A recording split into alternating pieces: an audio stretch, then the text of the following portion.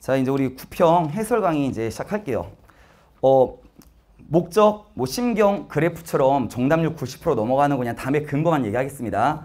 18번이야 대충 빨리 볼게요. 뭐 첫 문장 맞다고 치고요. 첫 번째 근거예요. 우리 병원이 자선 콘서트를 개최할 예정이래요. 뭐 그렇다고 치고요. 자, 그 다음 콘서트를 보다 특별하게 만들기 위해서 우리는 당신을 초대하길 원한대요. 자, 그 콘서트 오프닝에 아, 맨 마지막 문장. 아, 우리 학수고대 합니다. 당신의 긍정적인 응답을. 아, 사실 이거 틀렸을 거라고 예상 안 해요. 답 그냥 2번이죠. 자, 이건 뭐 그냥 빨리 넘길게요. 자, 19번 갑니다. 자, 19번에 심경 변화, 뭐 이거 어려운 문제 아니니까 아마 이건 듣기 할 때도 풀 수 있는 문제니까 자, 첫 문장을 보겠습니다. 그가 농구 코트에 이제 걸어갔어요. 데이빗이 갑자기 생각했습니다. 그날 참고로 목적격 관계대명사 뭐라고 돼요? 명, 명, 돈, 후치식이에요. 그가 자 get injured가 부상당한 지난 시즌에 어, 부상당했던 날이 기억이 났고 이제 얘가 얼어붙었어. 어, 내가 안 좋은 기억이 난 거야. 자, 그 다음 문장 쭉 넘어가서 칠게.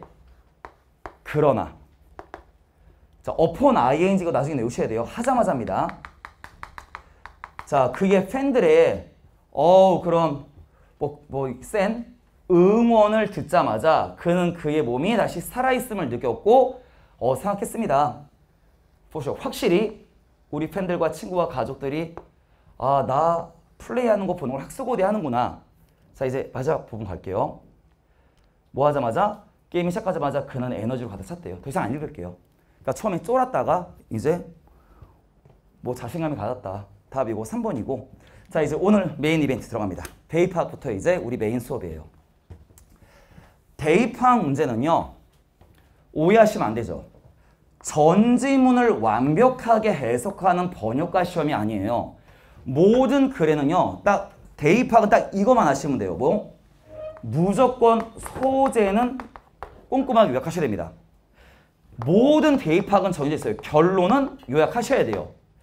어디에 있는지는 모르겠지만 주장문을 찾아내기만 하면 소재, 주장, 결론이면 오답이 다 지워진단 말이에요. 그러니까 있는 내용 있죠? 자, 제가 우리 현장 수업하는 때 자주 얘기했던 거 절대 선제 영향 안 미칩니다. 오히려 근거 아닌 문장을 요약하는 순간에 오답이 낚인단 말이에요. 무조건 믿으셔야 돼. 그러네 주장 하나다. 소재, 주장, 결론만 찾으면 되는구나. 그래서 빈칸 또 풀이 방식이 거의 같은데 대입학 문제 풀 때 첫 문장, 마지막 문장은 무조건 요약한다.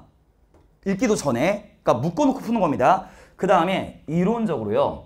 평균적으로 영어는 한 6개에서 7개 문장으로 구성돼 있어요. 그러면 여기에 한 4개, 5개 정도 문장밖에 없거든요. 주장문을 찾기만 하면 돼요. 근데 우리 주장문은 뭘 보면 알 수 있죠? 첫째 연결어죠. 대놓고 알려줍니다. 그러니까 연결어라고 하는 게 얘들아 내가 주장하는 거 썼으니까 나 좀 봐줄래 이 장치란 말이야. 만약에 예시가 나오면 예시 앞 문장은 필자에 주장하는 문장. 야 그러나 그럼에도 불구하고 나왔으면 뭐니? 나 여태까지 쓰레기 말했다. 이제부터 집중해라. 그럼 만약에 이런 거죠. 그러나가 나온 순간에요. 이거 쓰레기입니다. 절대 선제 영향 안 미치고요. 필자 주장은 어딘지 안단 말이에요. 또 그래서 그런 까닭에 다시 말에는 자기가 자기 말을 요약적으로 낸 주장문이란 말이에요. 노골적 주장문이에요. 근데 영어에서 대입학이나 빈칸에서 연결어 있는 게 더 많이 나오는 건 맞아요. 근데 연결어가 없어도 주장문을 알 수 있죠. 모든 언어의 공통점이에요. 주어를 가지고 주장하는 문장 알 수 없습니다. 뭐 햄버거는, 메가스터디는. 목적어를 가지고 주장하는 문장인지 알 수 없어요. 영어를, 공부를. 모든 언어의 공통점. 동사를 보면 주장문인지 알 수 있죠. 필자가 자기 글에서 대놓고 뭐뭐 해야 한다. 명령문. must, should, have to야 해야만 한다. 무조건 주장문입니다. 이건 예외가 존재할 수 없단 말이야. 또 뭐뭐 할 필요가 있다. 무조건 주장문입니다. 그 다음에 얼마나 중요한지가 자기의 몸은 중요하대요. 무조건 주장문이에요.